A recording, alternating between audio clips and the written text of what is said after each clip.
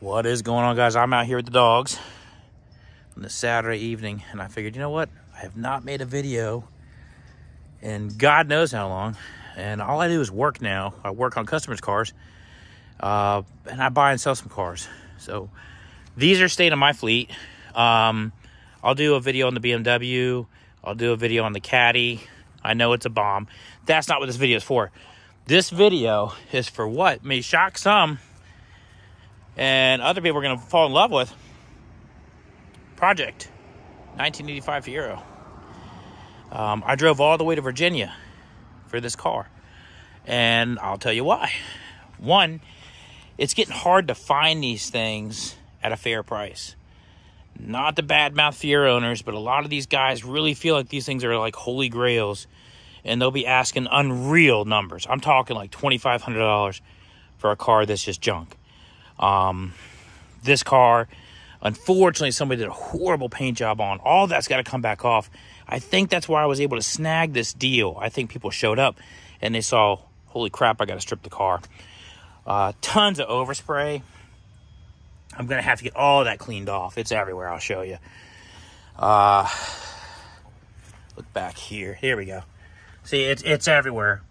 Um, I haven't had time to even mess with anything other than put an alternator on there.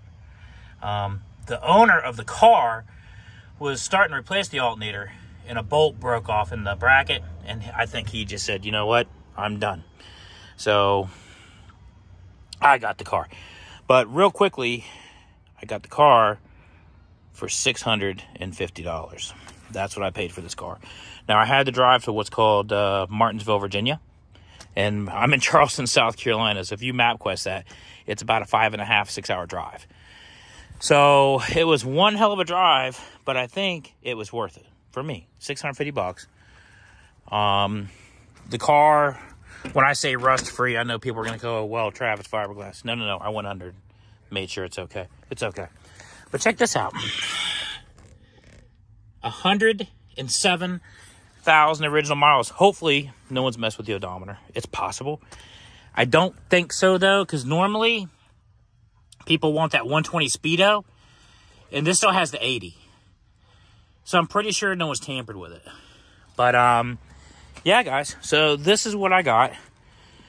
Uh, the factory rims are missing. I'm not sure how bad that bums me out. I think those came off a Cavalier. This car having four-wheel disc brakes, if I put some fancy rotors in there, paint the calipers red, yes, I know, tacky, but I'm going to do it. Those rims are going to expose it where it's going to look good in there. I'm wondering if I take the center caps and maybe get Pontiac center caps. Maybe those rims won't be so bad. I mean, you can comment below and say I'm a moron and Trav, the factory Pontiac rims are way better. I don't know. So, yeah, 650 bucks. My Fiero GT. So, let's go and start it. It's got an exhaust leak.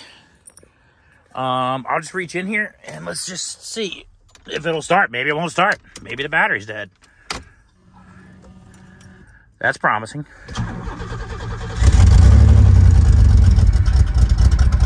Come on! All right, it's running.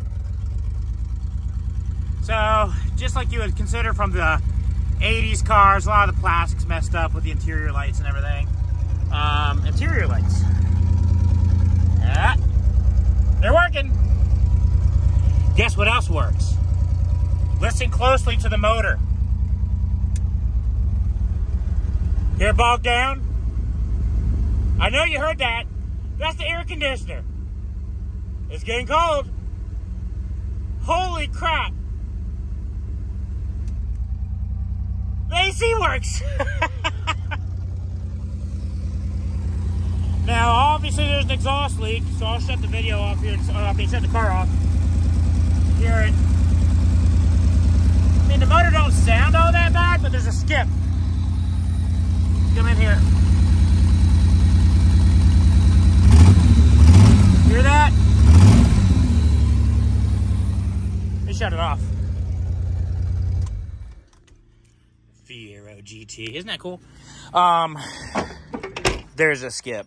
Slightly concerning because someone's already changed out the plugs and wires. Looks like the distributor cap rotor button Um, that's going to leave one of two things. One, you got a bad cylinder, or two, maybe a fuel injector.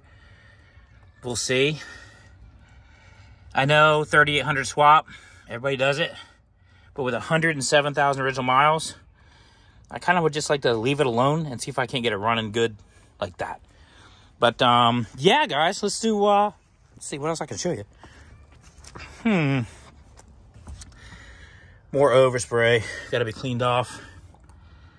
Cooling fan, all that kind of nonsense works. Oh, headlights. Let's do that. Let's see if I can get this thing down here. There we go. Doing this one-handed. What the heck? There we go. So, headlights. A little sluggish, but hey, they're up. I don't know, guys. I'm telling you, for 650 bucks, I may have got the best Fiero that you can get. Maybe not. I don't know. Someone will beat me. But uh, yeah, so here's the deal. Long story short, I had a little MG on the car trailer. And if you guys want to laugh, please do it now. I bought a car I couldn't get in. I didn't realize I couldn't get in the car. The MG, as bad as I wanted it to work, I bought a car that I couldn't get in. I can actually get in this car. And um, I had a white one, and I sold it. And I really regretted selling that car. This one, I've already done the title. It's mine. It's done. No plates till probably springtime. But more videos to come on Project Fiero. Uh, again, I want to kind of live with that motor. I think I'll pick like a day and strip one panel and then maybe strip another one and not try to get overwhelmed by doing it all. But yeah, what do you guys think? Comment below and you know, you can say, hey, those rims aren't too bad or they look like crap, and I don't really care. I like this little car, and I'm going to have fun with it. More videos to come on everything else, so get ready because I'm firing this channel back up. Project Fiero.